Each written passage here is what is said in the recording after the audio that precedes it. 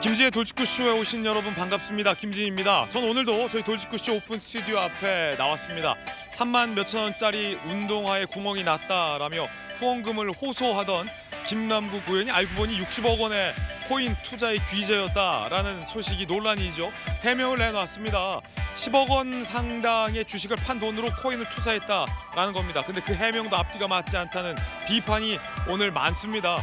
김남국 의원이 그 해에 신고한 공직자 재산 신고 내역에 예금이 한 10억 원가량 는 걸로 신고가 됐는데 이 주식 판 돈으로 예금이 들었다라고 신고를 한 겁니다. 그렇다면 10억 가까이 코인은 무슨 돈으로 투자했냐라는 물음이 남습니다. 그 물음에 대한 답변은 없습니다. 잠시 후에 이야기 나눠보죠. 전 비가 오나 눈이 오나 매일 아침 이곳에서 여러분을 기다리겠습니다. 김지의 도직구쇼 지금 라이브로 시작합니다. 잠깐만요.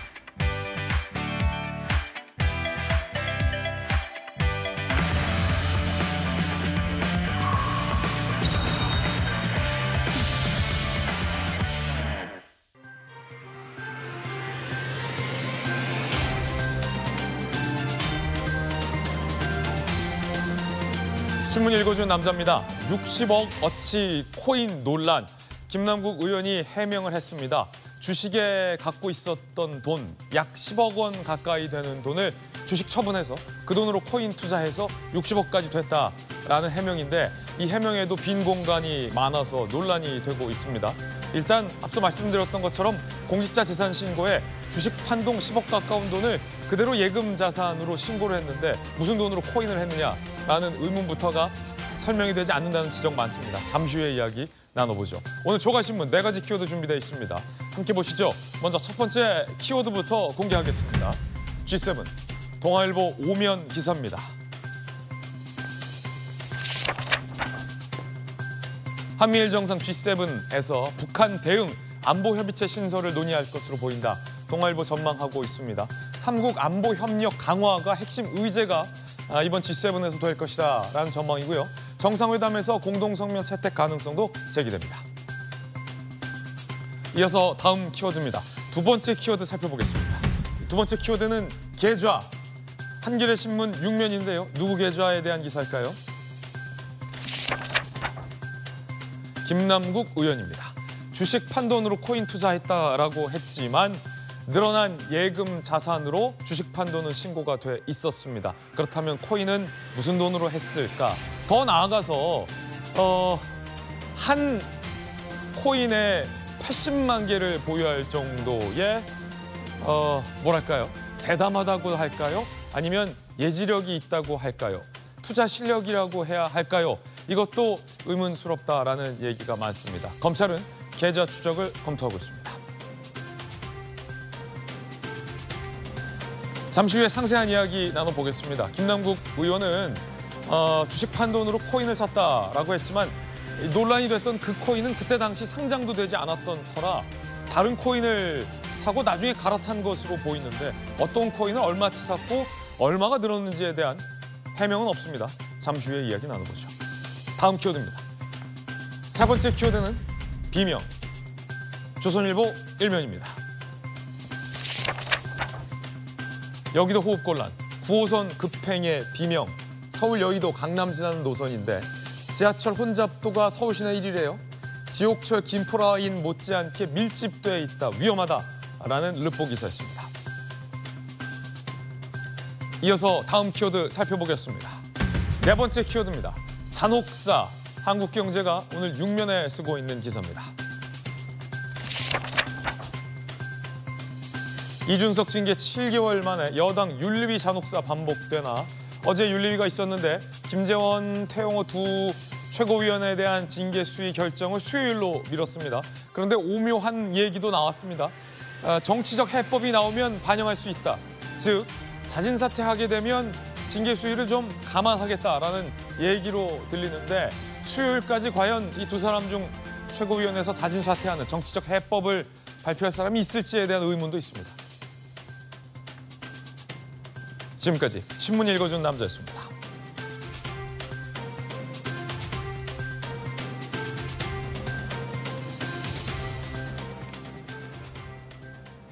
오늘 아침 함께 하신 분들 소개해드리겠습니다. 언론인 출신, 기자 출신의 한신대 김수경 교수, 바르다 박 선생, 국민의힘의 박정하 의원 나오셨습니다. 민주당의 재선 의원, 전재수 의원, 검사 출신의 김광삼 변호사 나오셨습니다. 어서 오세요. 코인 투자로 60억 상당을 보유했었던 것이 알려진 민주당의 김남국 의원 논란이 커지자 해명을 내놨습니다. 그런데 김 의원의 해명에도 불구하고 오늘 조간신문에는 아, 해명이 충분치 않다라는 비판 내지는 앞뒤가 맞지 않다라는 지적도 제기됩니다. 어떤 게 논란이고 문제일까요? 오늘 첫 번째 소식으로 전해드리겠습니다. 주제부터 공개하죠. 코인 해명했지만 점점점 결국 검찰 수사 갈까? 일단 김남국 의원의 어제 내놓은 추가 해명과 입장문을 좀 먼저 살펴봐야 할 것 같습니다. 어떤 해명 내놨을까요? 자, 제일 큰 의문은 60억 코인 무슨 돈으로 했느냐? 이에 대한 김남국 의원의 어제 추가 해명은 주식 판 돈, LG 디스플레이, 그 한 종목에 투자했던 돈 판 거, 그게 한 9억여 원이다. 그걸로 코인 투자했다라고 해명했습니다. 지난해 대선 전후 현금 인출한 건 440만 원밖에 없다. 현재 보유 가상화폐는 9억 1천만 원이다. 그러니까 60억 원짜리 코인이 9억 1천만 원 정도로 떨어졌다. 폭락했다. 뭐 이런 해명으로 들립니다. 그런데 해명하지 않은 부분도 많습니다. 위믹스 코인을 언제 구매했는지 공개하지 않았습니다. 현재 어떤 코인을 보유하고 있는지 공개하지 않았습니다. 이게 중요한 이유는 김남국 의원의 해명이 사실인지 여부를 따져보기 위해서는 어떤 코인을 보유하고 있었고 그 코인이 얼마만큼 폭락을 했길래 60억 코인이 지금은 9억 천으로 내려갔는지를 검증할 수 있는데 이걸 공개하지 않았죠. 1년 새 예금이 9억여 원 증가했습니다. 그렇다면 무슨 돈으로 코인을 샀다는 건지 이 해명도 충분치 않아 보입니다. 그러자 어, 특히 저 이 공직자 재산 신고에 증가했던 예금을 두고 국민의힘 최고위원과 산수 설전을 벌이기도 했습니다.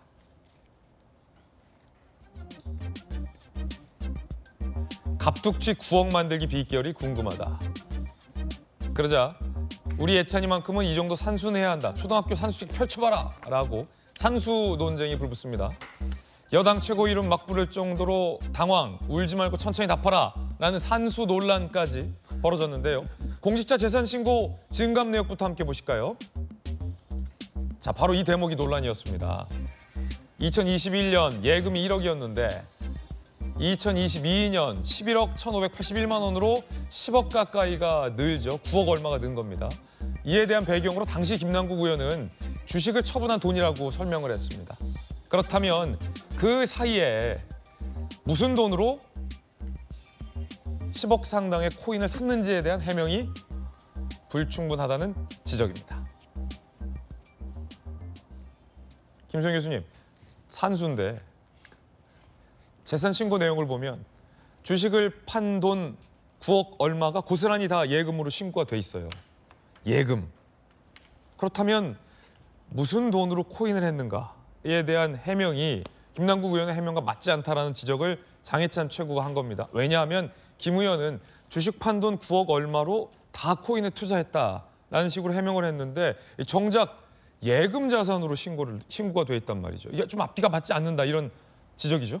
당연히 그렇죠. 이제 맨 처음에 당초 해명을 할 때 도대체 무슨 돈이 있어가지고 그렇게 많은 코인을 살 수 있었냐라고 했을 때 LG 디스플레이 주식을 자기가 가지고 있었는데 그거를 9억 얼마어치를 전량 팔고 그걸로 코인을 산 거다라고 했으면 다음 해에 공직자 재산 신고를 할 때 그거는 신고가 안 돼야 되는 거예요. 왜냐면 다 코인으로 들어가 있기 때문에 예금이 늘어날 수가 없는 거죠. 예금 10억이 띡 나왔다 이거죠. 그렇죠. 만약에 다음 해에 예금이 뭐 한 1억, 2억 이렇게 음. 줄어들어 있으면 아 그래 그 돈을 그대로 가상 자산을 샀구나라고 생각할 텐데 그 돈은 예금으로 다 들어가 있으면 도대체 무슨 돈으로 코인을 샀던 거야. 여전히 해명이 안 되는 거라서 오히려 이 해명자를 낸 게 더 이상한 꼴이 되어버린 거예요.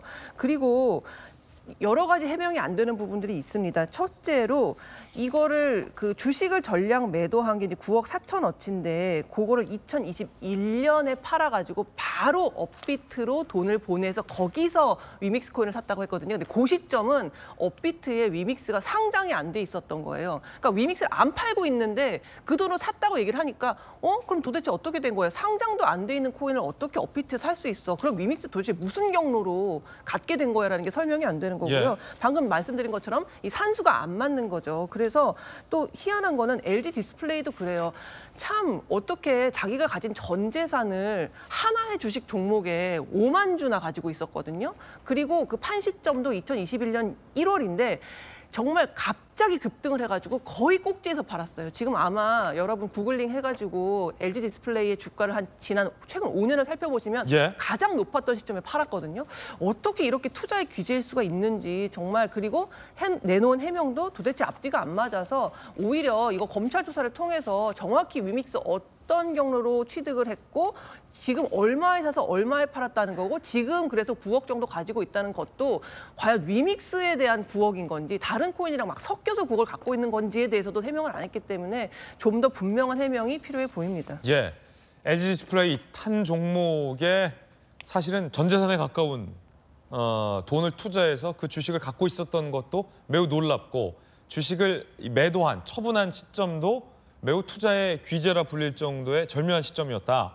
그런데 정작 제일 문제가 되는 건 김광선 변호사님. 예. 어, 뭐 검사 시절에 금융범죄도 많이 수사해 보셨으니까 예금 10억이 설명이 안 된다라는 부분입니다. 왜냐하면 김남구 의원의 해명대로라면 주식을 팔아서 그 9억 상당을 어, 코인에 투자했는데 갑자기 예금 10억이 탁 늘어 있으니까 이 돈은 어떤 돈일까요? 지금 해명을 하고 있는데 아까 산수 얘기 나왔잖아요. 저도 어릴 때 산수 좀 했거든요. 네. 저도 계산이 안 되더라고요. 저도 산수 공부를 다시 해야 할 것 같아요. 그런데 어, 일단 예금을 팔아서 코인을 샀다고 그랬잖아요. 주식을 팔아서 어, 주식을 팔아서 그런데 이 주식을 팔았으면 이걸 코인을 샀으면 사실은 본인의 재산 신고에 예금 부분이 증가되지 않아야죠. 근데 그만큼 예금 부분이 증가됐단 말이에요. 그렇다면 이 돈이 다른 데로 간 게 아니냐 이제 그 첫 번째 의구심이 좀 있어요. 그런데 사실은 예금이 증가하기 때문에 돈이 그 돈 가지고 코인을 안 샀다 그렇게 생각할 수밖에 없는 상황이단 말이에요. 네. 현재 상황은.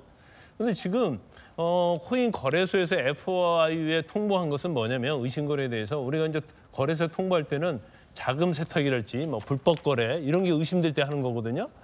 그런데 본인이 아마 주 거래하는 것이 업비트라는 거래소였던 것 같아요. 근데 빗썸이라는 거래소에서 갑자기 80만 개가 유미스가 들어오는 거예요. 그러니까 이거에 대해서 이상하다 생각가지고 FIU에 통보를 한 거, 신고를 한 거거든요. 그러면 결국 빗썸에서 80만 개 유믹스는 어디서 난 거냐는 거죠. 그러면 그게 자기가 돈을 넣어서 산 건지 이제 두 가지 경우가 있을 수 있어요. 지금 그 부분을 본인이 밝혀야 돼요. 첫 번째는 처음에 빗썸에서 가지고 있던 80만 개가 본인이 산 거냐. 근데 돈의 출처가 주식을 판 돈이라고 하는데 맞지 않거든요. 주식을 판 돈을 뭐 샀다고 한 시점에는 유믹스가 상장도 안 된 상태고. 왜냐하면 본인이 재산 신고할 때 주식 판도는 예금 증가분으로 신고를 했으니까 주식 판도는 어딘가 예금 계좌에 있는 거예요. 그렇죠. 그러니까 빗썸에 있는 80만 개가 어떻게 갑자기 생겨서 자기 거래, 자기가 주거래하는 업비트로 가져갔느냐 이게 문제고 이건 두 가지죠. 제가 말하다 말았는데 첫 번째는 자기 돈 주고 산 거일 수도 있고요. 그 다음에 가상화폐는요 제 3자가 전자지갑을 통해서 프롬 AS 프롬 프롬 AS 2로 얼마든지 할 수 있어요. 근데 이것은 걸리지 않죠. 단지 이상한 거래가 있을 때만 거래소에서 통보를 하는 거거든요. 그러면 이 80만 거래가 제 3자로부터 받 80만 유니스를 받아서 빗썸으로 받아서 자기 거래소로 가져왔느냐 이게 문제예요. 그래서 아, 그 김남국 의원이 60억 어치 보유하고 있다는 그 코인이 정말 본인이 산 건지 아니면 제3자에게 받은 것인지 해명이 돼야 된다. 그렇죠. 이제 그 부분을 좀 설명을 좀 해야 할 필요가 있어요. 그리고 지금 유믹스와 관련된 코인과 관련돼서 뭐 예금으로 샀다고 이렇게 얘기는 하고 있는데 그러면 어느 시기에 어떤 코인을 어떻게 샀느냐 이걸 이 얘기 해 줘야만이 이것이 해명될 수 있는 사안이지 단순히 나는 예금 가지고 뭐 코인을 샀다. 그런데 이게 뭐 폭등했다가 또 폭락해가지고 지금 9억 원어치밖에 갖고 있지 않다. 이런 얘기하는 것은 사실 맞지 않고 유믹스라는 코인이 우리가 김치 코인, 뭐 알트 코인, 잡코인이라고 해서 엄청나게 리스크가 있어요. 뭐 폭등했다가 뭐 시세 조정도 하는 그런 코인들도 많이 있는데 과연 여기에다가 9억이라는 엄청난 돈을 예. 몰빵한다는 것 자체도 뭐 내부 정보가 있다랄지 이제 그런 경우가 아니라고 한다면 확신하지 않으면 뭐 이 사실은 투자하기가 굉장히 어려운 가상화폐인데 이제 그런 부분도 상당히 지금 의구심이 풀리지 않고 있는 거죠. 예, 어떻게 어떤 확신으로 그 위믹스라는 다소 생소한 어, 가상화폐에 사실 전 재산에 가까운 예금으로 따지면 전 재산에 가까운 거 아닙니까? 그 돈을 투자할 수 있었는가? 그리고 예금 말고 코인에 투자했다는 그 10억의 출처는 어디인가? 결국 문제는 자금 출처입니다. 자금 출처. 김남국 의원이 해명을 내놨지만 자금 출처가 불투명하다라는 비판드린 셈인데요. 박정화 의원님, 네. 음, 이 검찰이 수사에 착수한 만큼 자금 출처에 대해서 검찰이 좀 들여다봐야 한다. 혹은 김남국 의원의 해명으로 다 설명이 됐다. 어떻게 보십니까? 어느 쪽이십니까? 지금 해명이 안 되잖아요. 우리 저희가 지금 저 빼고도 세 분이 말씀 주셨는데 출처에 대해서 애매한 거 아니에요. 그러니까 저는 본인이 어, 분명한 그 자료를 내서 해명을 하지 않는 한 음, 검찰 수사를 통해서라도 확인되어야 된다라고 생각합니다. 좀 전에 김강산 변호사님 말씀 주셨지만 그 출처가 애매하다면 누군가로부터 받았을 가능성도 있는 거기 때문에 그러면 이제 이, 이 사건의 성격이 또 다른 쪽으로 튀는 거기 때문에 저는 검찰 수사를 통해서라도 확인이 돼야 되는데 어제 김남국 의원이 그렇게 적극적으로 언론에 굉장히 해명을 하면서도 어제는 또 정작 기자들 앞에선 설명하지 않았어요. 18페이지인가라고 하는 그 첨부 자료까지 포함한 입장만 냈더라고요. 그래서 이런 의문이 생기는데 이렇게 저렇게 복잡하게 뭐 산수 얘기까지 할 거 없이 저는 딱 세 가지만 얘기하면 된다고 봐요. 첫째 하나는 그 코인을 사게 된 시드머니 자금 출처는 어디 있느냐. 처음에는 주식 판돈이라고 얘기했는데 그거 아니잖아요. 아닌 게 나왔으니까 그건 어디서 나왔는지에 대해서 확인해 줘야 되는 거고 그게 뭐 9억이 됐든 10억이 됐든 두 번째는 이 당시 매수 시점에 얼마에 사고 매도 시점에 얼마에 팔아갖고 이 돈이 얼마인지 뭐 이런 거에 대해서 확인해 주고 그 다음에 지금 그 60억이 뭐 9억 8천이 됐네 어, 어떻게 됐네 라고 얘기는 합니다만 현재 그러면 어떤 코인을 얼마나 갖고 있는지 그게 지금 자산상으로 9억 8천인지 아니면 그게 90억인지 확인할 수 있게 내주면은 나머지는 복잡한 거는 검찰에서 수사를 하든 국회 윤리에서 확인을 하든 아니면 재산 신고한 자료 가지고 우리들이 확인해 보면 그렇게 하면 돼요. 그리고 나머지 이해 충돌의 문제니 뭐 이런 건 따져보면 되는데 지금 국민들이 당장 궁금해하는 거는 이세 가지만 확인해 주면 돼. 이 세 가지는 근데 제가 볼 때는 크게 시간이 걸리지도 않아요. 왜 이렇게 복잡하게 가는지 잘 모르겠어요. 예. 저는 검찰 수사 필요하다고 보고요. 본인이 해명을 명료하게 하지 않는 한 수사를 통해서라도 나와야 되고 이게 자칫 저는 다른 방향으로 튈 수 있고 엄청난 파장까지도 올 수 있기 때문에 저는 꼭 반드시 시작과 끝이 나와야 된다고 생각합니다. 예, 예금 10억이 어디서 나왔냐라는 논란이 일자 김남국 의원이 일부 보도에 따르면 어, 1년간 코인을 투자해서 남은 수익 일부를 예금 계좌에 저금했다라는 식으로 해명을 했습니다. 그렇다면 어, 1년 좀 안 되는 기간 동안 코인에 투자해서 10억 가까운 돈을 벌었다. 라는 얘기가 되는 건데 그때 당시 위믹스는 상장도 되지 않은 터라 도대체 어떤 코인으로 그 짧은 기간에 10억 가까운 돈을 수익을 낼 수 있었는지에 대한 의문도 제기되고 있습니다. 전재수 의원님.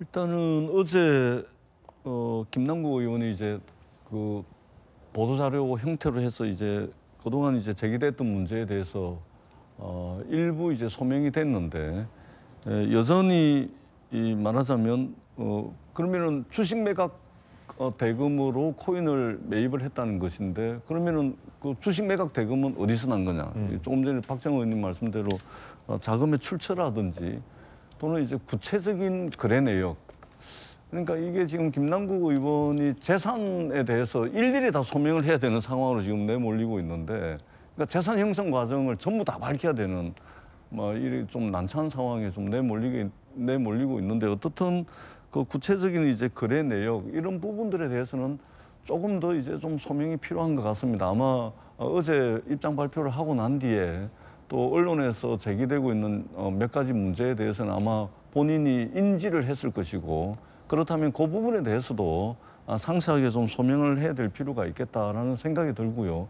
다만 이제 우리가 혹여라도 이것이 이 세금을 탈루하기 위한 어, 어, 부정이 있었던 것 아니냐 또는 이게 에, 말하자면 이게 자금 세탁이라든지 또는 이제 에, 부정한 돈을 말하자면 이 코인 거래를 통해 가지고 세탁을 하려고 했던 그런 불법적인 부분들이 있지 않냐 이런 부분들을 가지고서 아, 저희들이 좀 어, 들여다봤는데 일단은 어제 해명한 것에 의하면은 이런 부분은 아닌 것 같고요. 다만 어, 추가적으로 제기되는 의혹들, 어, 문제 제기들, 어, 자금의 출처라든지 이 부분에 대해서는 조금 더 어, 상세한 설명이 있어야 될 것 같고 아마 이 부분에 대한 어, 설명도 추가로 이어질 것 같아.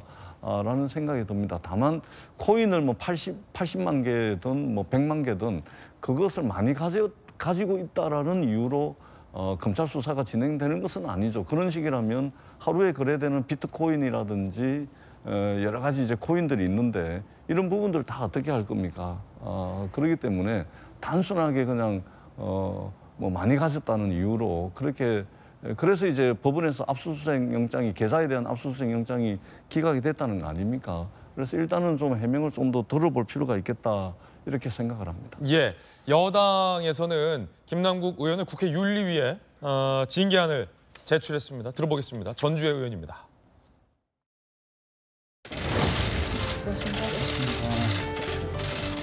김남국 금액에 대해서 어떠한 돈으로 그것을 투자를 했는지 그런 부분에 대해서 굉장히 미심적인 부분이 많죠. 그래서 본인의 말을 나의 말을 빌어달라 이거 외에는 구체적인 지금 거래 내역을 전혀 내고 있지 않기 때문에 이것은 오히려 굉장히 국민들을 우습게 하는 것이다. 김수현 교수님, 지금 여당에서도 오늘 많은 조간신문에서도 문제 제기하고 있는 게 한마디로 말하면 액수가 안 맞는다는 겁니다. 액수가 안 맞는다. 예를 들어서 김남국 의원의 한 보도에 따르면 추가 해명, 늘어난 10억에 대해서 코인 투자했고 단기간에 수익이 나서 수익 일부를 현금화해가지고 예금 계좌에 어, 이체한 거다라고 했는데 그 돈이 코인에 투자했던 그 돈만큼의 10억이에요. 그러면 그 짧은 시간에 10억 넣어서 10억이 뚝 나왔다 수익으로 그것도 일부잖아요 더 많은 수익 그럼 어떤 도대체 샀는지 이 부분에 대한 해명 김남국 의원은 왜 안 내놓는 걸까요? 간단한 산수가 안 되는 지금 해명을 내놓고 있으면서 액수가 안 맞는다 그렇죠. 그리고 위믹스를 간단해요. 위믹스를 언제 얼마에 샀고 그래서 얼마가 됐을 때 팔았고 만 얘기해주면 되는 거예요. 근데 그 부분은 하나도 없고 그때 주식을 팔아가지고 코인을 샀어요. 근데 그 코인이 위믹스인지도 불분명해요. 예. 왜냐면 그 시점과 위믹스가 그 업비트에 상장되었던 시점이 안 맞기 때문에 그 코인은 그 코인이 아니었던 것 같아요. 그러니까 언제 무슨 돈으로 그 돈을 샀는지에 대한 설명이 전혀 안 되는 이런 해명은 내놓으나 마나고요. 사실 이게 지금 뭐 법 적으로 문제가 있냐 없냐 이런 것들은 검찰 조사를 통해서 들여다봐야 될 문제지만 지금 윤리위에 제소를 했잖아요. 국회의원이 이렇게 잡코인, 소위 말하는 잡코인이 뭐가 문제냐면은 정보를 가지고 있는 사람은 어마어마하게 떼돈을 벌고요. 거기에 우르르 끌려 들어갔던 개미들은 대부분 돈을 잃는 투자거든요. 그렇기 때문에 굉장히 투기성이 강한 어떤 종목이란 말이죠.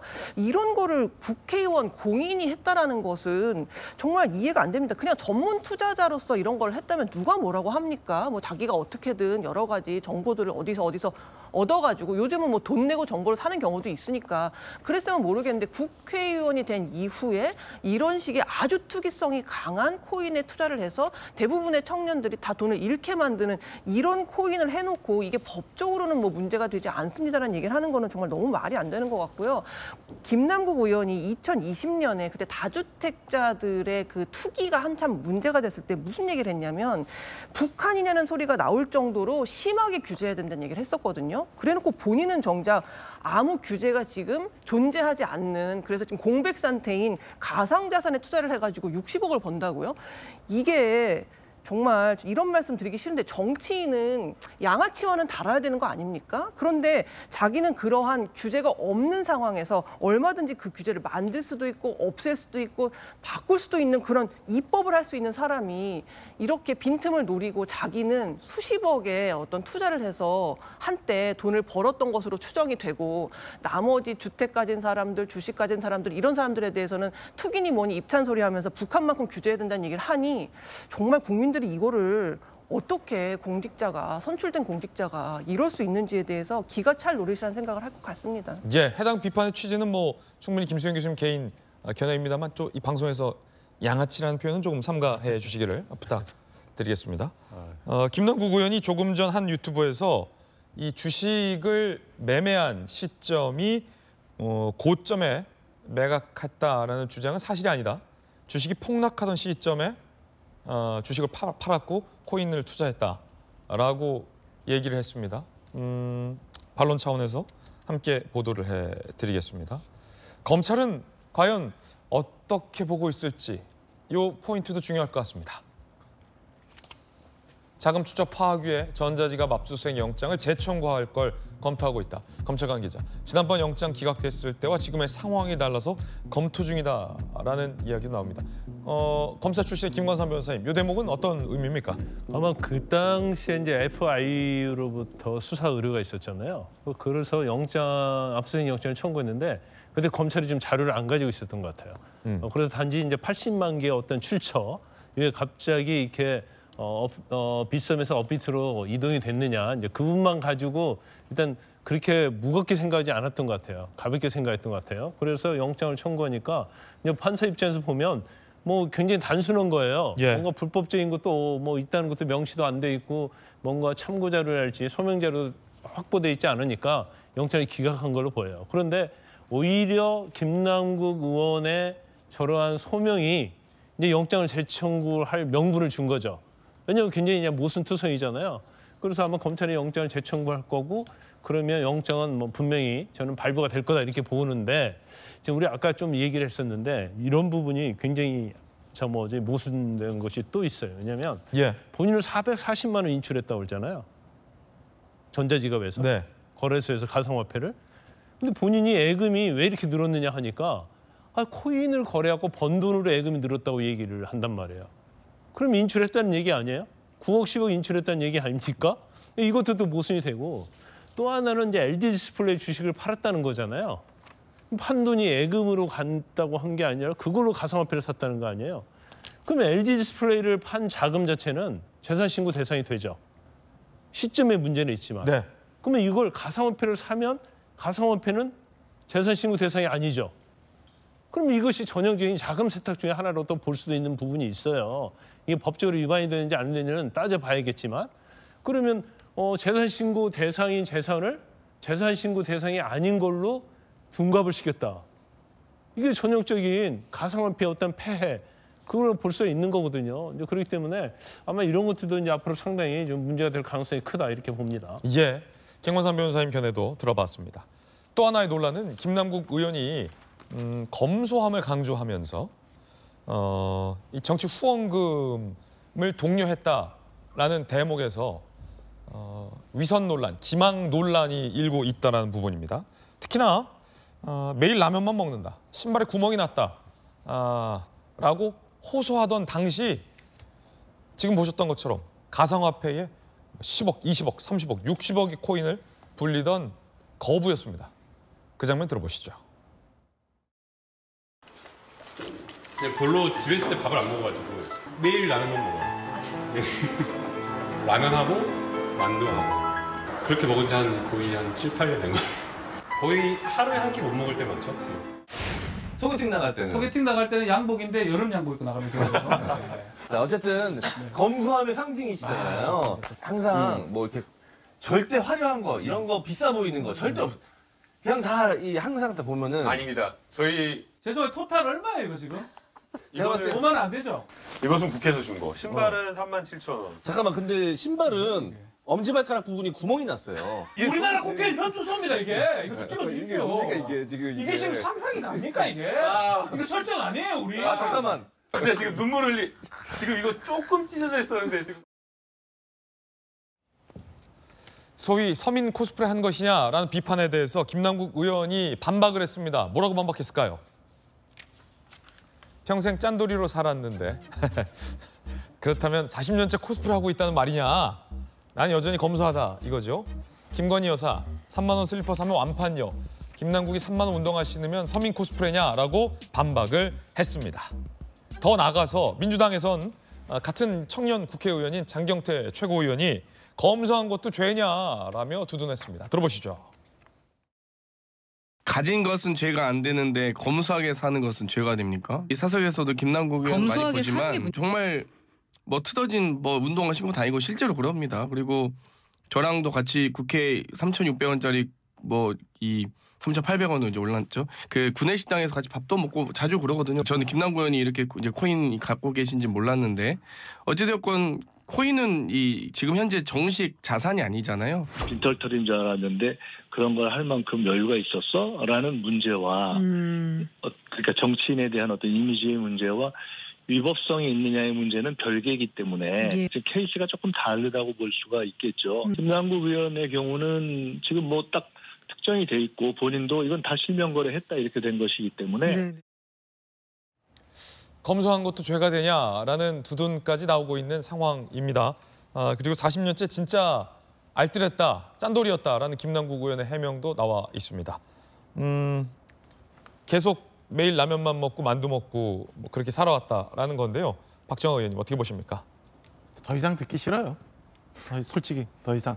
그러니까 일부 국민들께서 허탈해 하실 정도로 어떤 지금까지 있었던 정치 세력들이 저렇게 음, 진짜 속과 겉이 다르게 지금까지 왔었고 이거에 대해서 해명하는 전형적인 이 종합 선물 세트 같아요. 김남국 의원과 관련된 일련의 사태들이. 자 한번 보세요. 지금 보면은 어, 어제 했던 얘기 오늘 다루고요.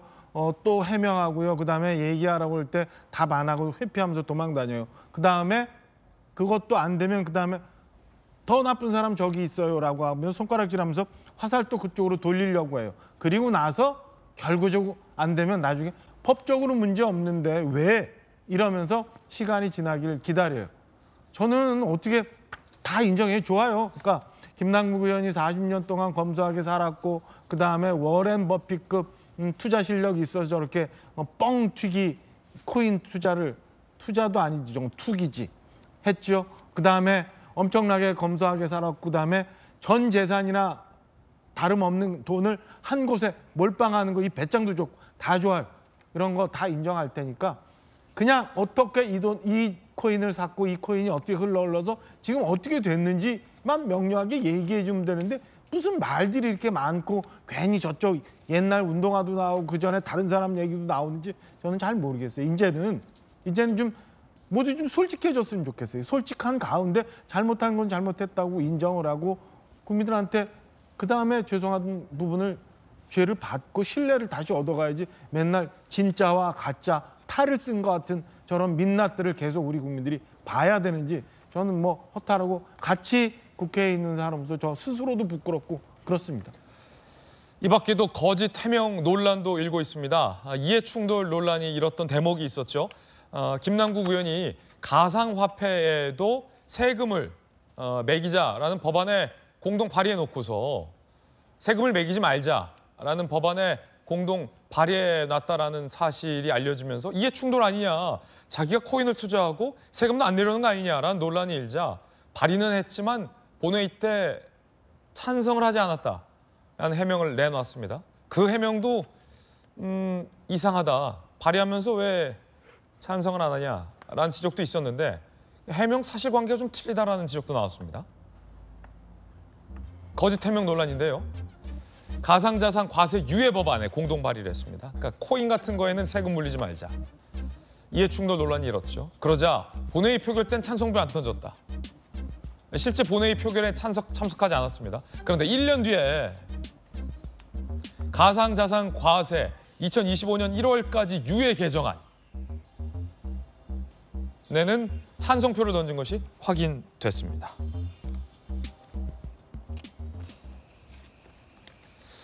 결과적으로는 찬성했네요.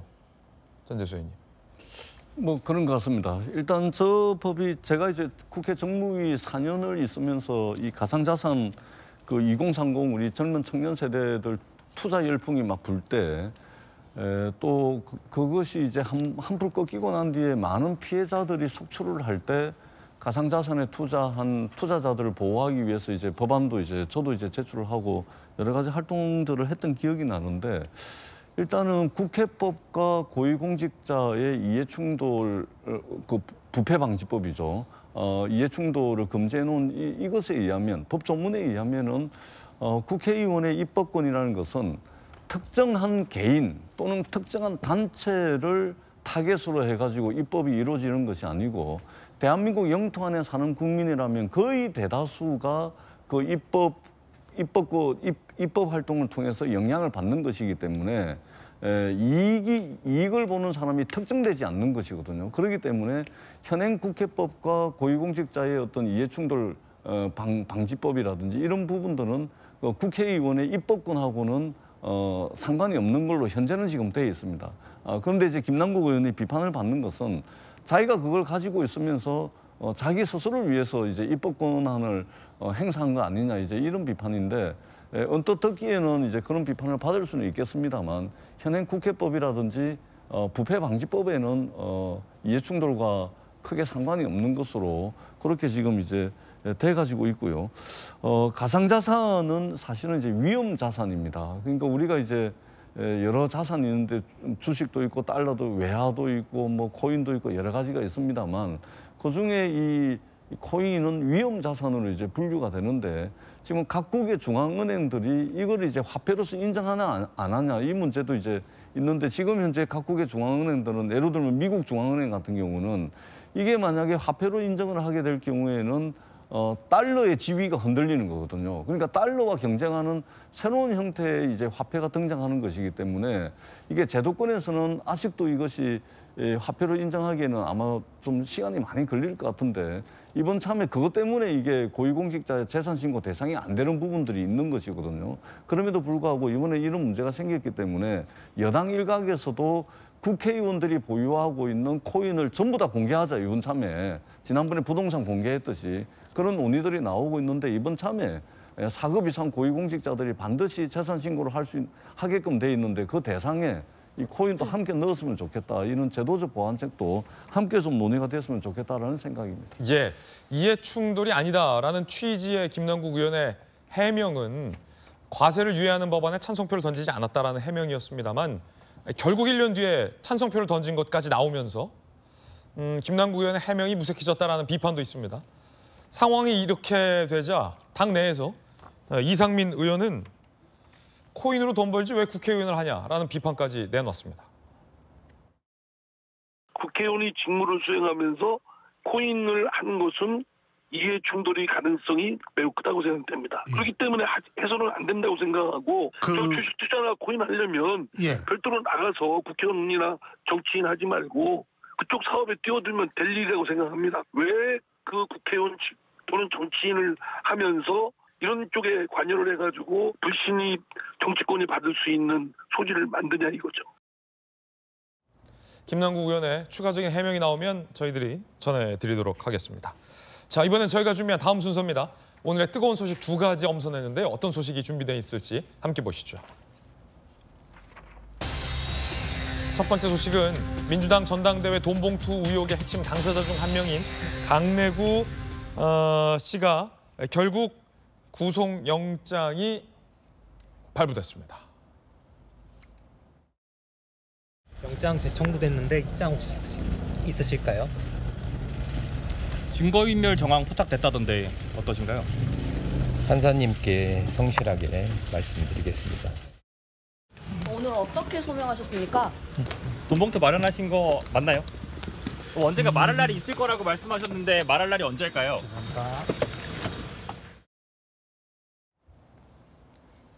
한 차례 영장이 기각됐지만 검찰이 영장을 재청구했고 결국 법원은 영장을 구속영장을 발부했습니다. 수사 전후 말맞추기, 사건 자료 폐기, 증거인멸 정황이 확인됐다라며 어, 검찰은 180장 분량의 자료를 제시했습니다.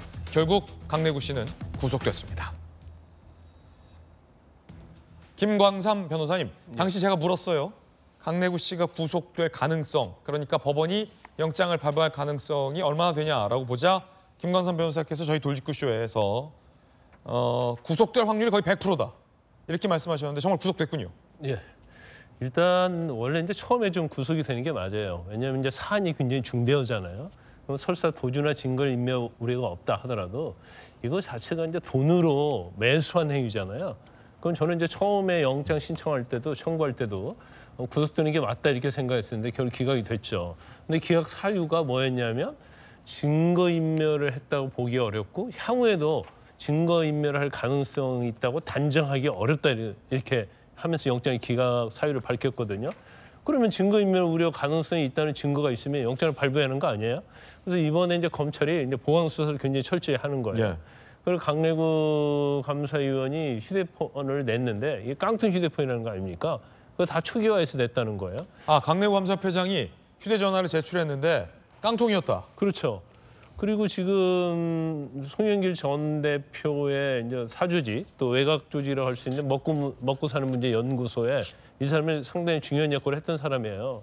그런데 그 사람들과 같이 또 이 얘기를 하고 PC를 교체하고 이제 이런 행위를 했다는 거예요. 그래서 여러 가지를 보면 이제 조직적으로 이 사건의 증거를 인멸하고 사건을 은폐하기 위해서 뭐 폐기를 하는 등 말 맞추는 등 이런 시도를 했다는 것을 검찰이 확보를 한 거죠. 그 음. 분량이 거의 뭐 180장 정도 된다고 하니까 검찰이 엄청나게 보강 수사를 했다고 보고요.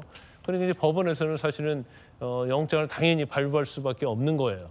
그래서 아마 강내구 감사원이 구속이 되면서 가장 당황하고 힘들어하는 사람은 송영길 전 대표라고 봐요. 예. 송영길 전 대표가 지난번에 어, 검찰에 혼자 알아서 출석을 해서 그런 얘기했잖아요. 강내구 의원이 영장이 기각됐다는 사실 자체 이걸 가지고 하면서 마치 검찰이 어뭐 어, 정치에 수사를 하고 있는 것처럼 했는데 결국 구속이 됐어요. 음. 그러면 이제 그 다음에 제일 중요한 몸통이라고 볼수 있는 것은 송영길 전 대표다. 그리고 송영길 전 대표의 어떤 혐의점이 드러나면 사실 강내구 감사위원보다도 훨씬 더 어, 송영길 전 예. 대표의 역할이 크잖아요. 그럼 송영길 전 대표의 영장도 청구할 수밖에 없는 상황이기 때문에 그렇군요. 어, 굉장히 아마 어, 당황했을 겁니다. 지금 김광삼 변호사님의 설명을 듣다 보니까 김수영 교수님, 강내구 씨가 검찰에 제출했던 소위 깡통폰 이걸 보면서 법원이 판사가 아, 이 증거를 인멸할 가능성이 있다라고 오히려 구속을 했다라는 건데 깡통 전화 논란은 사실은 강내구 씨뿐만 아니라 송영길 전 대표한테도 있었죠. 송영길 전 대표가 검찰에 제출한 폰이 이른바 깡통 전화였다라는 논란이 제기됐고 음, 그러자 송 전 대표 측근은 증거를 인멸하라고 휴대전화를 초기화한 것이 아니라 휴대전화를 새로 바꿔서 송영길 전 대표가 새로 바꿔서 휴대전화에 아무것도 없다라는 해명을 내놨는데 또 그러자 검찰 일각에서는 음, 수사 대상에 오르고 곧바로 휴대전화를 샀다라는 게 신빙성이 떨어진다 라는 비판도 있어요. 어떻게 보십니까? 이른바 공통점이기도 하고 깡통 휴대폰 논란인데요. 그때 이제 송영길 전 대표가 검찰에서는 아직 준비 안 됐으니까 기다리시오. 아직 오실 필요 없습니다라고 했는데도 이제 억지로 이제 검찰청 앞에 가서 이제 나를 구속하라라고 아주 비장하게 말씀을 하셨죠. 그러면서 이제 기자가 물었거든요. 왜 압수수색이 들어갔을 때 현장에 없다가 그 다음 날 어, 이렇게 핸드폰을 제출했냐라고 물어보니까 자기가 그날 뭐 바빴고 해서 나는 지금 검찰에 이렇게 핸드폰을 자발적으로 제출했다는 걸 굉장히 힘주어 얘기했어요. 그만큼 자기는 자신이 있고 결백하고 검찰에게 전혀 뭔가 꿀릴 게 없다. 전혀 뭔가 그런 냄새나는 그런 행동을 한 게 없다라는 결백을 보여주기 위해서 나는 핸드폰을 냈다라고 얘기했거든요. 근데 나중에 보니까 그 핸드폰이 초기화된 깡통폰이었던 거잖아요. 그러니까 사람들이 좀 이것도 약간 블랙 코미디 같은 거죠. 그렇게 자신만만하게 나는 어떤 것도 잘못이 없다라면서 당당하게 제출했는데 알고 보니 자료가 될 만한 게 아무것도 없는 거예요. 그러니 송영길 전 대표가 나를 구속하라. 주변을 괴롭히지 말고 나를 구속하라고 했는데 진짜 구속되게 생겼어요. 이 폰을 제출함으로써 증거 인멸의 시도를 하려는 게 너무 분명해 보이잖아요. 그리고 만약에 자기가 핸드폰을 바꿨다. 바꾼 핸드폰이니까 당당하게 냈겠죠, 그러면? 다 바꾼 핸드폰을 검찰에서 뭐가 궁금하겠습니까? 그 폰에는 아무 자료도 없는데. 그리고 핸드폰을 바꾸면 보통 전에 쓰던 핸드폰에 있는 자료를 그대로 새 폰에 옮겨 심어요. 왜냐하면 자기가 활동하고 업무하던 게 있기 때문에 아예 깡통 폰을 들고 다닐 수는 없어요. 그래서 뭐 주소록이라던가 자기가 거기 갖고 있었던 여러 가지 정보를 그대로 옮겨 놓는다고요. 근데 아무런 그런 정보가 없는 새 폰을 내가 새 폰을 사서 그냥 새 폰을 냈어 할 것 같으면 이거는 정말 장난으로 밖에는 어제 해석할 수 없는 부분이어서 오히려 이런 깡통폰 제출이 정말로 송전 대표를 구속하게 만들겠구나 싶은 그런 예측을 하게 됩니다. 예. 어쨌든 강내구 씨는 구속이 됐습니다. 깡통 전화가 크게 작용을 했다는 분석도 있습니다. 녹취록에 강내구 씨가 많이 등장하죠. 들어보시죠. 월요일 날 오면 밥값이 없다. 현찰로 좀 마련해줘라. 얘기해 놓으십시오. 얼마? 그러면은 천만 원 이렇게 얘기해야 돼. 그러면 얘는 백만 원을 생각하고 있다. 천만 원을 두드려 맞기 때문에 오백을 갖고 옵니다. 아시겠죠? 진짜 완전 엑기스 전수해주네요. 윤광석이 나, 나한테 전화 와서 그러는데 받긴 받았는데 그 X가 쫓아와서 엄청 불편했어 막 그러대 나한테 그것도 아닌 걸 가지고 불편해 엄청 조심해 윤광석은 조심해도 뭐 너무 조심해 구속이 됐습니다. 아, 돈북 의혹과 관련된 검찰의 향후 수사 좀 더 지켜보겠습니다. 뜨거운 소식 함께하고 있습니다. 두 번째 소식 만나보시죠. 문재인 전 대통령의 책방이 문을 열었습니다. 많은 손님들이 찾고 있다고 해요. 평상 책방. 그런데 어, 자원봉사자를 모집했어요. 그러자 열정페이 논란이 일었습니다. 이 평산 책방이 우리 평산 마을과 지산리 어, 주민들의 문화 공간이 되고 또 사랑방이 되기를 기대합니다.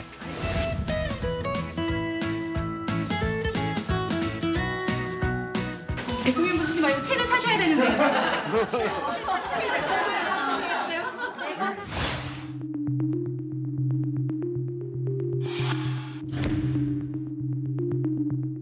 청년들의 노동에, 노동에 대해서 합당한 보수와 대우가 필요합니다. 열정페이라는 이런 이름으로 청년 노동력을 착취하는 그런 일이 있어서는 안 되겠습니다. 자, 이 평산 책방이 왜 열정페이 논란이 일었을까? 자원봉사자를 모집했는데 이게 논란의 단초가 된 겁니다.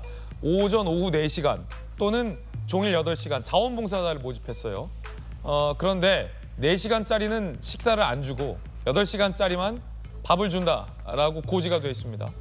어, 돈은 안 주지만 책방에 굿즈와 간식은 제공해 주겠다라고 공고를 내서 이거 열정페이 아니냐 이런 게 논란이 일었습니다. 비판 댓글 노동법 지켜가면서 채용해라. 열정페이 자원봉사자 반대한다. 논란이 일자 책방은 문재인 전 대통령의 평상 책방은 과욕이었다라며 철회를 했습니다. 자 정치권 두 분 의견 한번 들어보겠습니다. 아, 먼저 전재수 의원님. 일단은 철회를 했습니다. 예, 뭐, 뭐 논란 논란이 있는 것을 인지를 하고 아, 문제의 소지가 있겠다라고 인정을 했기 때문에 뭐 철회를 한 것으로 보여지는데 잘했다고 생각을 합니다. 네. 다만 다만 우리가 열정페이라는 것은 우리가 고용주가 노동자를 고용해 가지고 어, 정해져 있는 근로 계약에 따라서 어, 일을 시키는 것 이상으로 일을 시키고 그러고 난 뒤에 에, 말하자면 노동의 대가로서 추가적인 노동의 대가에 대해서 임금을 제대로 지불하지 않고 말하자면 착취하는 그거 아닙니까? 근데 이거는 고용해서 하는 것이 아니고 자원봉사를 이제 모집을 한 겁니다. 그러니까 이제 열정페이를 저 그 저 서로 다른 기준을 가지고서 어 이제 비판을 하는 측면이 좀 있는 것 같습니다. 좀 제가 보기에는 좀 이게 좀 과도한 비판이 아닌가 그렇게 보여지고요. 어, 자원봉사자를 일상적으로 자원봉사자를 모집을 해야 될 정도면 그것은 일상적인 업무로서 꼭 필요하다는 겁니다. 그렇다면 이 부분은 이제 정식으로 고용을 통해서 하는 게 맞겠죠. 어, 그런 측면에서 저는 어, 좀 논란이 있긴 했습니다만 어, 철회를 한 것은 잘한 거다 어, 이렇게 생각을 합니다. 박정호 의원님. 문재인 대통령의 기본적인 그 대통령 이후의 생활에 대해서 한번 고민이 되는 부분이 있어요. 당신 스스로 말씀하셨던 것처럼 잊혀진 삶을 살고자 한다고 하신 분이 왜 이렇게 논란을 계속 만드는지 잘 모르겠다는 생각이 듭니다. 우선 첫째, 평산 책방이라는 게 저게 문재인 대통령 당신이 생각하는 의도와는 달리 어떻게 흘러갈지 여러 사람들이 걱정 많이 한 부분이 있잖아요. 그거 그런 건에 대해서는 왜 생각 안 해보시는지 잘 모르겠고 지금 우리가 얘기하고 있는 청년들에 대한 열정 페이 뭐 그렇게 필요해서 자원봉사자가 많이 필요할까? 어떤 이유로 그렇게 많이 모아놔야 될까? 해명이라고 보니까 뭐 나중에 음, 재단에서 필요한 사람들을 미리 모으려고 했다는데 왜 그렇게 많은 사람이 필요할까? 그리고 일각에서 보면 이게 재단 법인을 만들려고 하는데 지금 현재는 책을 사면 영수증이 뭐 혹은 발급이 안 되는 경우도 있고 현금으로밖에 안 되는 경우도 있고 때로는 이 사업자가 개인 사업자 문재인으로 이렇게 찍혀서 나온 영수증이 된다는 거예요. 준비도 제대로 안 된 상황에서 왜 이렇게 그럼 서둘러서 책방을 열었어야 되나 이런 자잘한 논란들이 굉장히 많이 있거든요. 과연 잊혀진 삶을 살고자 하신다는 문재인 전 대통령이 정말 바라는 건 뭔지 여전히 정치권의 영향력을 행사하고 내 주변에 여러 정치인들이 와서 나의 말이 마치 국민 여론을 이끌어가는데 한 축을 계속 이어갔으면 하는 바람이 있었던 건 아닌지 저는 한번 돌아보셨으면 하는 생각이 듭니다. 자, 이 논란 두 분의 의견 들어봤습니다. 이번엔 저희가 준비한 다음 이슈 시작하겠습니다. 어, 국민의힘의 윤리위가 어제 개최됐는데 징계는 결정하지 않았습니다. 수요일에 결정하겠다라고 미뤘습니다. 주제 공개합니다. 미뤄진 징계 결정. 어, 윤리위 전 당대표 그리고 윤리위원 이야기 한번 들어보겠습니다.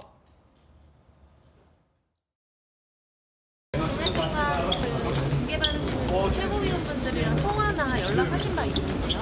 그런 사안에 대해서는 말씀 안 드리는 것이 개인적인 뭐, 이 문제가 있으니까 서로가 자진 지금- 사퇴를 네. 설득했다는 이야기도 있었는데요. 제가 뭐 답변 택배를 드리진 않겠습니다.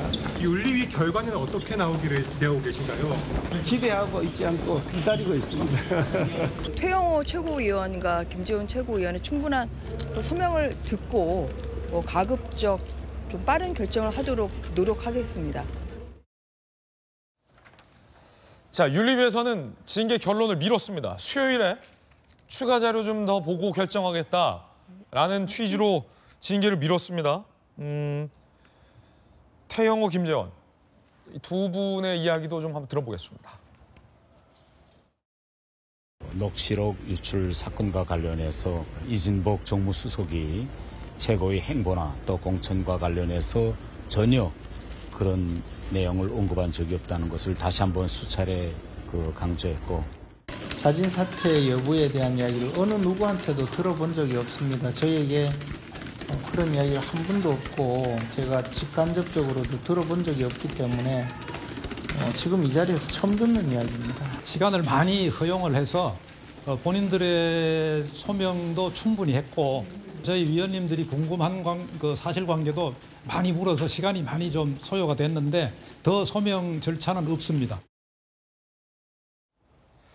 그렇군요. 어, 자, 김재섭 전 비대위원 어, 오늘 당내 상황과 관련해서 이야기 듣기 위해서 모셨는데요. 이를 두고 묘한 빽불 있었어요. 만약에 정치적인 해법을 한다면 누군가가 그러니까 자진 사퇴한다면 징계 수위는 좀 낮아질 수 있다. 이런 얘기도 좀 나왔어요. 이를 두고 자진 사퇴할 시간을 좀 주는 거 아니야? 내지는 자진 사퇴를 압박하는 거 아니냐? 뭐 이런 정책 해석도 나오는데 예. 지금 어떻게 돌아가는 분위기예요? 좀 뭐 명예로운 퇴진의 길을 열어줬다 이렇게 해석을 하시는 분들이 좀 있는 것 같아요. 왜 그러냐면 지금 징계 수위를 결정하는 데 있어서 결국 윤리위원회라고 하는 것이 마치 이제 당내 사법부 역할을 하게 되는 그러니까 재판 같은 역할을 하게 되는데 이 재판부라고 하는 것이 중요한 것은 결국 선례를 얼마큼 잘 따라가느냐 일관성을 지키느냐의 문제인 것이거든요. 과거에 이준석 전 대표가 징계받았던 때를 생각해 보면 지금 태영호 최고와 김재원 최고에 대한 징계 수위는 대략 한 1년 정도로 예상을 하고 있는 상황입니다. 근데 만약에 1년 동안의 당원권 징계가 정지가 되는 징계를 받게 되면 사실은 차기 총선 출마 여부가 굉장히 불투명해지는 것이거든요. 중간에 구제를 받지 않는 이상. 그렇게 됐을 경우에는 차라리 1년 동안의 징계를 받느니 최고위원을 사퇴함으로써 징계 수를 좀 낮춰가지고 총선을 출마할 수 있는 기회 정도는 보장받고 싶다라는 메시지로 저는 조금 해석이 됐습니다. 그래서 사실은 처음부터 당내에서 이런 최고위원이 자진 사퇴하는 것이 가장 모양이 좋지 않겠느냐. 굳이 윤리위를 열어서 징계해가지고 마찰음을 일으키는 것이 여당 지도부로서 그렇게 좋지 않은 모습 아니지 않느냐라는 비판이 많이 있었던 만큼 아마 저렇게 좀 명예로운 퇴진의 길을 열어줬다. 저는 이렇게도 생각을 하고 있습니다.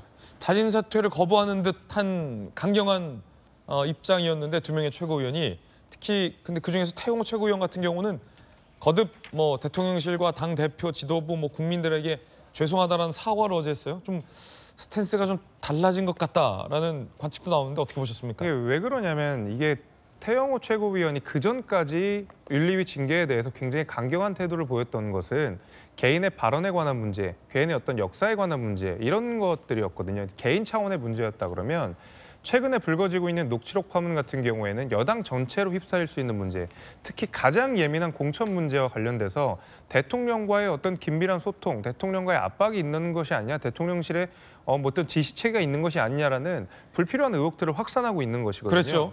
그렇게 됐을 때는 이것은 뭐 대통령실의 당무 개입 여부로 번질 수가 있는 것이고 이거는 형사적으로도 문제가 되는 내용이기 때문에 이게 태용호 의원 개인의 문제가 아니라 여당의 문제이고 정부의 문제가 될 수 있거든요. 이런 만큼 당에게 그다음에 정부에게 되는 부담감이 심히 중대하게 커진다라는 비판 때문에라도 태용 의원이 약간의 이런 조금 완충하는 듯한 메시지들을 최근에는 좀 내고 있는 것으로 생각합니다. 아무리 어, 이 하나하나가 어떤 헌법기관이 국회의원이라 할지라도 국민의힘 소속 아니겠습니까? 정부 여당의 소속인 국회의원인 만큼 아마도 이런 책임성을 가지고 이런 이야기들을 하기 음. 시작한 것이 아닌가 이렇게 저는 생각을 합니다.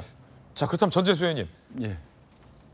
자진 사퇴를 좀 압박한 측면도 있어 보인다라는 해설인데 그래도 두 최고위원은 나는 자진 사퇴는 없다라는 입장을 고수하고 있는데 그렇게 되면 내일 만약에 자진 사퇴가 없으면 윤리위에서는 어, 강한 징계를 할 것으로 보입니까? 어떻게 보이세요? 제가 듣는 이야기는 좀 틀리거든요. 그래요? 예, 제가 듣는 이야기는 그러니까 언론에서는 대략 한 이틀 정도 시간을 벌어주면서 우리 김재섭 최고위원도 말씀을 하셨지만 명예로운 퇴진, 자진 사퇴의 길을 열어준 거 아니냐 이렇게 대략 보던데 제가 듣는 이야기는 어, 이렇게 강제적으로 중징계를 내렸을 경우에 김재원, 태용호 이 두 분의 최고위원이 반발을 하게 될 텐데 근데 이 반발을 하는 내용과 강도가 당이 감당하기 어려운 수준일 수도 있다. 어, 예를 네. 들면요. 어, 뭐 구체적인 이야기가 여의도에서 많이 도는데요. 네. 그 이야기를 제가 어, 확인된 이야기가 아니기 때문에 그렇군요. 예, 말씀을 드릴 수는 없고요. 그래서 당에서 한 시간을 좀 가지고서 두 최고위원을 좀 설득도 하고 또 어, 말하자면 음, 나중에 이제 총선 출마 길도 완전히 봉쇄해버리는 것이 아니고 어떤 정치적 해결책을 모색하기 위해서 한 이틀 정도 어, 시간을 벌었다라는 이야기도 이제 많이 나오거든요. 그렇기 때문에 한번 지켜보도록 하고 이것을 지켜보는 우리 국민들 입장에서는 이 공천 개입이라는 것은 사- 사실은 굉장히 중, 중요한 문제거든요. 그리고 지금 태영호 최고와 관련해 가지고는 여러 가지 이제 의혹들 중에 공천 헌금 이야기도 나오고 있기 때문에 수사기관의 수사가 필요한 사안인데 왜 수사를 하고 있지 않은지 이 부분에 대해서도 많은 의구심을 가지고 있다. 만약에 야당에서 어, 이런 녹취록이 나오고 했으면 수사기관이 이런 식으로 했을까라는 그런 이제 어떤 동일한 기준과 잣대 이런 부분에 있어서도 좀 저희들이 좀 여러 가지 문제의식을 가지고 있다 이 말씀도 아울러서 드리도록 하겠습니다.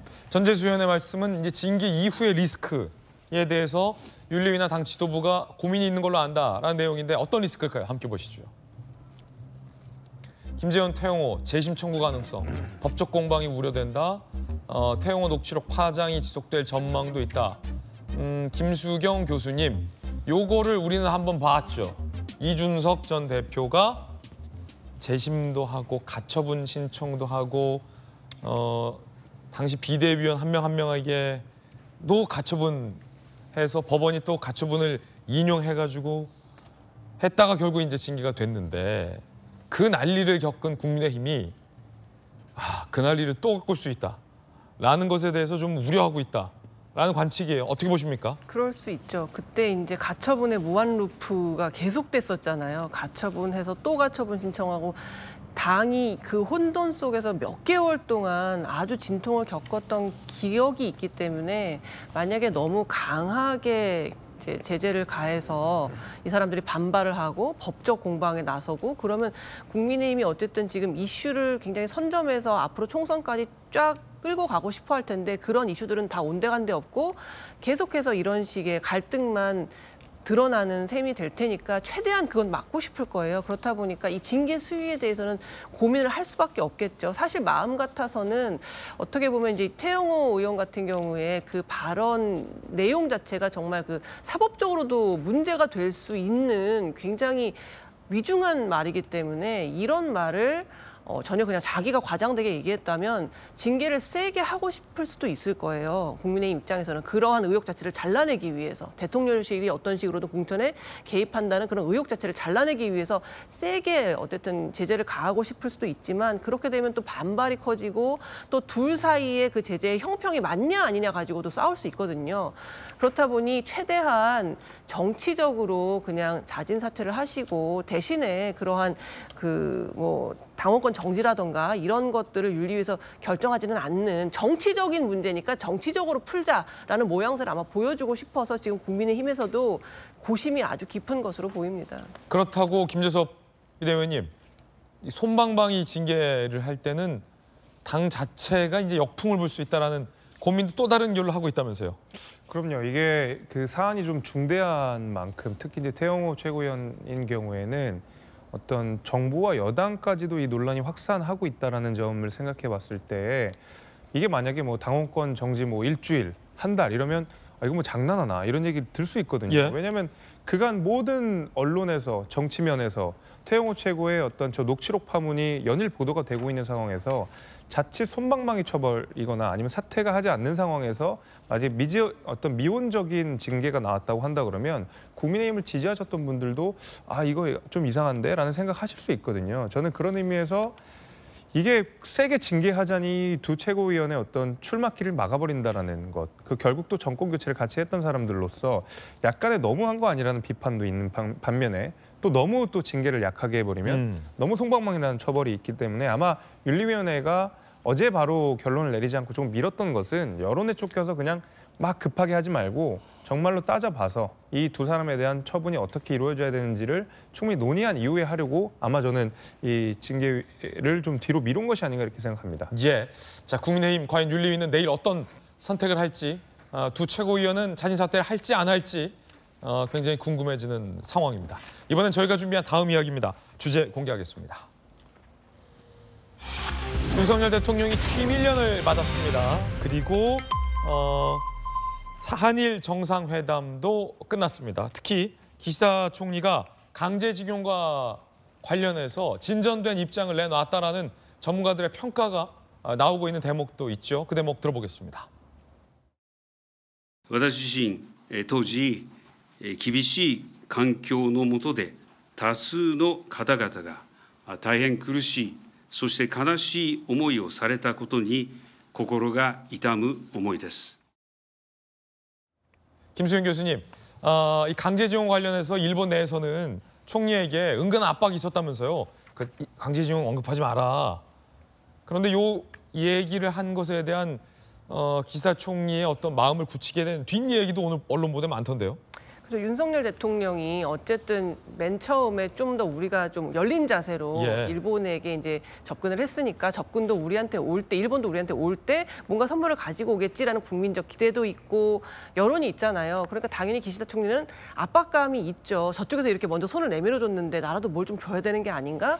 그런 압박감을 느끼다 보니까 윤 대통령이 너무 부담스럽게 느끼지 말아라. 부담스럽게 생각하지 말아라라고 기시다 총리에게 얘기를 했다고 해요. 그러니까 오히려 기시다 총리가 개인적인 의견이라고 말은 했지만 가슴 아프게 생각한다라는 말을 한 거거든요. 근데 이게 그 개인적인 의견이라고는 하지만 그만큼 기시다 총리가 개인적으로 결단한 것 같아요. 일본 국내 여론은 오히려 그런 말 아예 하지 말라라는 여론이었는데 이 말을 듣고 개인적인 의견이라는 게 그냥 사견이다라는 의미라기보다는 개인적으로 이렇게 말해야겠다라고 자기가 그 수위를 결정한 어떤 계기가 된 거죠. 그런 점에서 물론 우리가 생각하는 것만큼 아주 속 시원한 사과와 반성의 통렬한 어떤 메시지가 있지는 않았지만 그럼에도 불구하고 어느 정도는 성의를 표시한 것이 아닌가 그렇게 평가하고 싶습니다. 가슴이 아프다라는 사실상의 유감 표명의 발언 어, 참모들에게도 상의하지 않고 나에게 맡겨달라 라면서 일종의 결단을 했다라는 어, 뒷이야기인데요.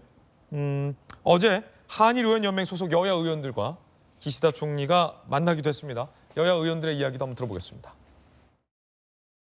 한일 관계를 위해서 어, 반컵의 물잔이 빠르게 채워지고 있는 느낌을 어, 갖는다. 강제징용 피해자에 대한 어, 기시다 후미오 총리의 따뜻한 메시지도 매우 인상적이었다라는 말씀을 제가 드렸습니다. 일왕이 이, 이야기했던 통석의 염에 미치지 못하고 어, 심지어 어, 아베 총리가 이야기했던 통석의 염과 회오가 포함되어 있지 않다라는 점에서 부족한 점이 많다. 한일 정상회담을 두고 양당의 대표의 평가도 어, 사뭇 달랐습니다. 이재명 대표는 어, 빵 셔틀 외교를 언급했습니다. 들어보시죠. 기시다 총리가 나름대로 성의 있는 모습을 조금씩 보이면서 진전을 이루고 있다는 것, 그것 또한 좋은 희망의 시그널이 아닐까 하는 생각을 합니다. 정부는 이번 정상회담을 셔틀 외교 복원이라 자랑하지만 안타깝게도 빵 셔틀 외교 같다는 국민 일각의 자조적 필란에 귀 기울여야 합니다. 김재섭 비대위원님, 이 빵 셔틀은 소위 학창 시절 때 일진들이 못 살게 구는 어, 동, 동기생들한테 빵 사와라고 했다는 셔틀인데 굉장히 이렇, 이렇다면 좀 윤석열 대통령 입장에서는 뭐 좀 모욕적인 평가를 어, 민주당 이재명 대표가 어, 언급한 셈인데 어떻게 들으셨습니까? 이거는 이제 사실은 비판이라기보다는 비난이라고 봐야 되겠죠. 그래서 빵셔틀이란 말을 어, 야당의 대표가 입에 담는다는 것이 그리고 대한민국 정상이 했던 회담을 가지고 빵셔틀이라고 비하하는 것이 글쎄요 저는 야당 대표로서 입에 담을 말인가라는 생각은 좀 드는데 설령 빵 셔틀이라고 하더라도 100번 양보해서 그 빵이 국민들께 돌아간다고 한다 그러면 얼마든지 국가 정상 입장에서는 해야 되는 거 아니겠습니까? 저는 그런 의미에서 이번 한일 정상회담을 봐줬으면 좋겠고 무엇보다도 이게 야당이 비난하는 것처럼 이번 한일 정상회담 간단한 간단한 회담은 아니었습니다. 왜냐하면 이 기시다 입장에서는 사과를 했지만 그 사과에 대한 해석은 뭐 여야가 좀 엇갈리긴 합니다만은 기시다는 어쨌든 간에 중의원을 좀 조기 해산하고 중의원 선거를 다시 치르려고 하는 상황이거든요. 왜 그러냐면 기시다는 지금 자신이 가지고 자민당 내에 자신의 개판 한 4위 정도밖에 되지 않습니다. 결국 극우 세력이 득세하는 그러니까 아베 사실상의 아베 내각인 이 자민당을 기시다가 끌고 가기 굉장히 어려운 상황입니다. 눈살 을 아마 받게 될 것이고 일본 내 여론도 지금 좋지 않을 상황일 겁니다. 선거를 앞두고 어쨌든 본인이 일본 내 입장을 본인의 입으로 지금 전달을 하고 있는 상황이거든요. 이것을 그냥 단순히 빵셔틀이라고 비난할 것이 아니고 어쨌든 한일 정상이 굉장히 큰 결단을 하고 여기에 대한 회담을 이어나갔다는 것 자체에 대해서 국외고 관점으로 이것을 잘한 건 잘했다, 좀 부족한 건 부족했다 이야기를 해줘야 되는데 이재명 대표의 말은 그저 비판이 아니라 비난이다. 저는 이렇게 생각이 됩니다. 이제 이재명 대표의 빵 셔틀 외교 뭐 어떤 뭐 맥락인가요, 예. 전재수 의원님? 그러니까 지금 한미 외교, 한일 외교 어, 이런 부분들에 대한 국민들의 평가가 상당히 예, 뭐 진영에 따라서 평가가 이제 완전히 이제 양분된 측면이 있긴 하지만 대략적으로 우리 국민들이 상당히 불안해하는 것은 맞는 것 같습니다. 그런 불안한 부분을 아, 정치적 수사로서 이제 비판을 한 것이고 사실 이번 한일 정상회담을 했는데 기시다 총리가 우리나라를 왜 왔는지 저는 사실은 알지를 알 수가 없습니다. 어, 대한민국이 얻은 게 뭐가 있습니까? 가슴이 아프다라는 말 한마디 듣기 위해서 어, 그 한마디 하기 위해서 한국을 왔습니까? 가슴이 아픈데 뭐에 대해서 가슴이 아픈지도 나오지도 않습니다. 예, 윤석열 대통령이 자 취임 1주년 하루 앞두고 국무회의를 주재해서 모두 발언하고 있는데요. 아, 잠시 들어보겠습니다. 일본 방문으로 재개된 한일 셔틀 외교가 12년의 세월이 필요했지만 양국 정상이 오가는 데는 두 달이 채 걸리지 않았습니다. 기시다 총리는 강제 동원 피해자들이 혹독한 환경에서 힘들고 슬픈 경험을 하신 데 대하여 가슴 아프게 생각한다고 했습니다. 어두운 과거의 역사를 외면하지 않고 진정성 있는 마음으로 대한다면 한일 양국이 당면한 어려움을 극복하고 새로운 미래를 열어갈 수 있을 것입니다. 이번 한일 정상회담에서는 경제, 산업, 과학, 문화, 인적 교류 등 폭넓은 분야에 걸친 양국의 협력 방안을 심도 있게 논의했습니다. 또 후쿠시마 오염수 처리에 관하여 우리 전문가로 구성된 현장, 현장 시찰단을 파견하기로 했습니다. 다음 주 G7 정상회의에서는 히로시마에 위치한 한국인 원폭 피해자 위령비에 한일 양국 정상이 함께 참배하기로 했습니다. 불과 얼마 전까지만 해도 상상할 수 없었던 일들이 지금 한일 간에 이루어지고 있습니다. 자유민주주의 가치를 공유하는 한일 양국이 서로 교류 협력하면서 신뢰를 쌓아간다면 한일 관계가 과거 가장 좋았던 시절을 넘어 새로운 미래를 개척해 나갈 수 있을 것입니다. 각 부처는 한일 정상회담에서 논의한 협력 사항들을 꼼꼼히 챙기고 진행시켜서 우리 국민이 그 혜택을 직관적으로 체감할 수 있도록 해주기를 당부합니다. 다음 주에 있을 G7 정상회의에서는 한미일 3국 정상회담도 개최됩니다. 지난달 국빈 방미 계기에 합의한 워싱턴 선언으로 한미 간의 대북 확장 억제를 강화한 데 이어 한미일 안보 공조를 통해 영내 평화를 구축하기 위한 연대를 보다 공고하게 해 나갈 수 있을 것입니다. 제가 대통령직에 취임한 1년 전 이맘때를 생각하면 외교 안보만큼 큰 변화가 이루어진 분야도 없습니다. 취임 후 11일 만에 이루어진 한미 정상회담을 통해 한미 동맹이 실질적으로 재건되었습니다. 작년 6월에는 한국 정상으로 처음으로 나토 정상회의에 참석했습니다. 나토 정상회의에서는 보편적 가치를 공유하는 국가들과의 자유의 연대를 구축하고 이제 지역 안보에서 글로벌 안보 상황으로 바뀐 그런 세계 안보에 대한 협력 방안을 논의했습니다. 또 나토 정상회의 계기에 여러 나라들과 양자회담을 갖고 원전, 반도체, 공급망 분야의 실질 협력을 강화하고 방산 수출 성과도 이루어냈습니다. 이제 대한민국의 방위 산업은 세계 제4대 수출국을 목표로 힘차게 나아가고 있습니다. 지난 작년 9월에는 유엔 총회와 뉴욕대에서 뉴욕 부상을 발표하고 디지털 공간에서의 새로운 규범 질서 수립과 아울러서 또 디지털 격차 해소 방안 그리고 디지털 ODA를 제안했습니다. 최근 미국 국빈 방문 시에는 자유를 향한 새로운 여정을 주제로 한 하버드 연설에서 자유를 침해하는 디지털 기술의 악용을 막기 위한 세계 자유시민의 연대와 협력 필요성을 강조했습니다. 지난 1년간 저는 대한민국 1호 영업사원으로서 정상 세일즈 외교를 폈습니다. 지난해 11월 사우디 빈살만 왕세자 방한 계기에 약 40조 원에 달하는 26건의 MOU를 체결했습니다. 그 첫 성과로 올 3월에 약 9조 3천억 규모의 S5일 샤인 프로젝트 기공식을 가졌습니다. 특히 올해 1월 UAE 국빈 방문에서는 300억 불 규모의 전략적 투자를 유치했습니다. 이러한 대규모 오일머니의 국내 투자를 통해 우리의 유망 스타트업, 벤처, 중소기업이 글로벌 강소기업으로 도약하는 데 큰 힘이 될 것으로 기대합니다. 앞으로 경제를 외교의 중심에 두고 우리 제품의 수출 확대와 해외 첨단 기업의 국내 투자 유치를 위해 열심히 뛸 것입니다. 북한의 선의에만 기댔던 대한민국의 안보도 탈바꿈했습니다.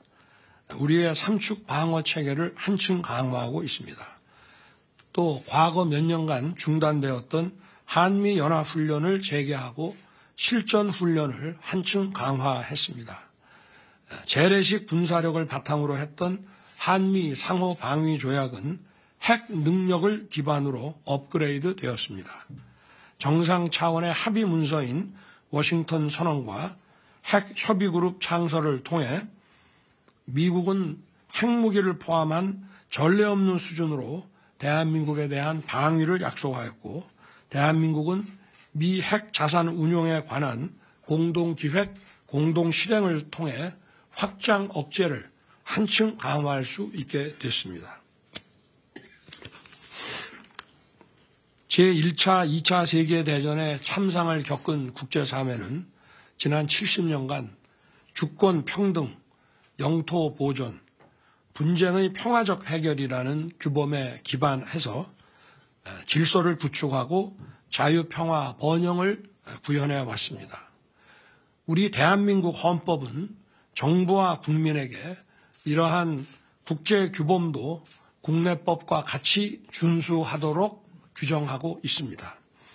따라서 우리 정부는 분쟁의 군사적 해결과 힘에 의한 현상 변경을 반대해 왔습니다.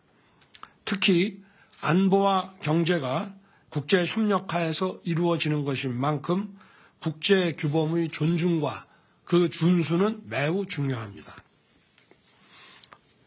우리 정부는 지난 1년간 규범에 입각한 국제 질서를 존중하고 국제사회에서 우리의 경제 역량에 걸맞는 책임과 기여를 다함으로써 글로벌 질서의 중심으로 뛰어들었습니다. 치열한 지정학적 경쟁과 다층적 국제관계 속에서 우리 대한민국이 세계 평화와 번영의 허브 역할을 수행해 나갈 것입니다. 이렇게 하는 것이 우리의 안보와 경제, 기업과 국민 모두에게 필요하고 유익한 것임은 더 말할 나위가 없습니다. 최근 전세 사기, 그리고 주식과 가상자산에 관한 각종 금융 투자 사기가 집단적 피해를 야기하고 있습니다. 특히 서민과 청년 세대가 회복하기 어려운 피해를 입고 절망하고 있습니다. 서민과 청년에 대한 사기 행각은 전형적인 약자 대상 범죄입니다. 집값 급등과 시장 교란을 초래한 과거 정부의 반시장적, 비정상적 정책이 전세 사기의 토양이 되었습니다. 또 증권 합수단 해체로 상징되는 금융시장 반칙 행위, 감시 체계의 무력화는 이러한 가상자산 범죄와 금융투자 사기를 활개치게 만들었습니다. 힘에 의한 평화가 아닌 적의 선의에 기대는 가짜 평화와 마찬가지로 범죄자의 선의에 기대는 감시적발 시스템 무력화는 수많은 사회적 약자를 절망의 늪으로 밀어 넣어버린 것입니다. 건물과 제도를 무너뜨리는 데는 시간이 걸리지 않습니다. 순간입니다. 그러나 무너진 것을 다시 세우는 데는 엄청난 시간과 노력이 듭니다. 그리고 정상적인 복원까지 수많은 선의의 피해자가 발생하고 이들의 고통은 회복 불가능한 것입니다. 과거 정부의 검찰개혁 과정에서 마약 조직과 유통에 관한 법 집행력이 현격히 위축된 결과가 어떠하였는지 국민 여러분께서 모두 목격하셨습니다. 우리 정부는 출범 후 마약, 중요 마약 범죄에 대한 법 집행력을 회복하고 검경 합동수사본부를 설치하는 등 마약 청정 국가를 만들기 위해 노력해 왔습니다. 최선을 다할 것입니다. 그러나 무너진 시스템을 회복하고 체감할 만한 성과를 이루기에는 시간이 필요합니다. 거야 입법에 가로막혀 필요한 제도를 정비하기 어려웠던 점도 솔직히 있습니다. 오는 5월 16일 6년 만에 다시 민방위 훈련을 재개합니다. 그간 가짜 평화에 기댄 안보관으로 민방위 훈련이 실시되지 않았습니다. 국민 스스로를 지키는 민방위 훈련은 제대로 해본 것과 그렇지 않은 것은 실제 상황에서 국민 자신의 안전을 확보하는데 큰 차이가 있습니다. 반복적이고 실제적인 훈련으로 실제 상황에 대처하는 민방위 훈련을 세계 많은 나라가 실전처럼 실시하고 있습니다. 정부는 지난 6년간의 미 실시를 감안해서 먼저 공공기관부터 훈련을 시작하고 다음 단계로 전 국민이 참여하는 훈련으로 정상화 수순을 밟기로 했습니다. 실제 상황에서 국민의 안전을 지키기 위한 것인 만큼 효과적으로 훈련할 수 있도록 행안부 등 관계부처는 세심하게 준비해 주기 바랍니다. 감사합니다. 네, 윤석열 대통령의 어, 취임 1주년 즈음 어, 그리고 한일 정상회담에 대한 어, 윤 대통령의 평가 아, 등등 국무회의 모두 발언을 통해서 저희가 생방, 생방송으로 연결해 들었습니다. 여러분께서 들어보셨습니다. 빵 셔틀 너무 좀 가혹한 것 아닙니까? 그 뭐 정치적 수사로서 예, 또그 윤석열 정부의 말하자면 국익 외교 또는 이제 실리 외교, 균형 외교를 추구해왔던 그동안의 대한민국의 외교 안보 어, 정책이 말하자면 이게 불분명한 의미가 불분명한 가치 추구 외교로 바뀌면서 어, 사실상 이제 국익과 실리를 다 놓치고 있는 거 아니냐 이런 이제 비판적 인식이 상당히 있습니다. 이런 부분에서 아마 윤석열 외교 어, 한일 정상회담을 비판을 한 것 같고요. 다시 한번 말씀드리지만 우리 외교는 균형 외교, 국익, 실리 이것이 대한민국 최고의 에, 가치이자 대한민국 최고의 외교 정책이 돼야 된다라는 말씀을 다시 한번 드리도록 하겠습니다. 자유가 어, 어떤 의미의 자유인지 가치 외교 말씀하시는데 어떤 가치를 말씀하시는지 좀 불분명하다 이 말씀도 아울러서 드리도록 하겠습니다. 취임 1주년을 즈음해서 어, 여론조사 좀 살펴보겠습니다. 대통령과 각 정당 지지도입니다. 대통령 직무수행 평가를 보면 그 한미 정상회담, 한일 정상회담을 거치면서 어, 지지율이 3% 포인트 상승을 했습니다. 33% 어, 긍정 평가가 올랐고요. 부정 평가는 많이 하락을 했습니다. 63에서 57%로 부정 평가는 많이 떨어졌습니다. 어, 한미 정상회담, 한일 정상회담을 통해서 전통적인 한미일 동맹이 가치 동맹을 강조했던 것이 국민들 사이에서 어, 높은 평가를 아, 받은 것 아니냐라는 분석이 나오고 있고요. 양 정당은 어떨까요? 지금 보시면 어, 두 정당의 지지율 그래프가 최근 드라마틱한데 국민의힘은 32에서 35%로 3%포인트 상승, 민주당은 37에서 32로 5%포인트 크게 좀 큰 폭으로 하락을 했습니다. 김광선 변호사님. 자, 지금 민주당이 5%포인트 크게 하락한 이유는 아무래도 돈봉투 의혹, 뭐 이번 주에 발표된 여론조사 결과도 좀 봐야겠지만 김남국 의원 논란 등등 때문인가요? 일단 이제 정당 지지도는 상대적이잖아요. 그래서 어 제일 저렇게 민주당 지지도가 떨어진 것은 이제 동봉투 동봉투와 관련된 의혹이라고 봐요. 저희 이제 언제까지 갈지는 모르겠어요. 또 더군다나 강내구 감사위원이 구속이 되면서 또 송영길 전 대표랄지 이런 문제가 또 남아 있고 더군다나 이제 더욱 더 핵폭탄급 남아 있는 게 김남구 의원과 관련된 예. 가상화폐 이거라고 봐요. 그래서 앞으로 이제 민주당이 굉장히 어려운 있다 이렇게 볼 수 있고 그 다음에 전에 이제 박근혜 전 대통령 때요 외국만 갔다 오면 지지도가 올랐거든요. 그런데 윤석열 대통령도 상당히 네. 외국과 관련된 외교와 관련돼서 상당히 지지도에 있어 도움을 받는 것 같습니다. 김관삼 변호사님 옆에 60초 후 계속된다는 자막이 떴습니다. 잠시 후에 돌아오겠습니다. 오늘 저희가 준비한 소식 모두 다 전해드렸습니다. 저희는 내일 아침에 8시 50분에 인사드리겠습니다. 오늘 하루는 분명 어제보다 나을 겁니다. 좋은 하루 되십시오. 고맙습니다.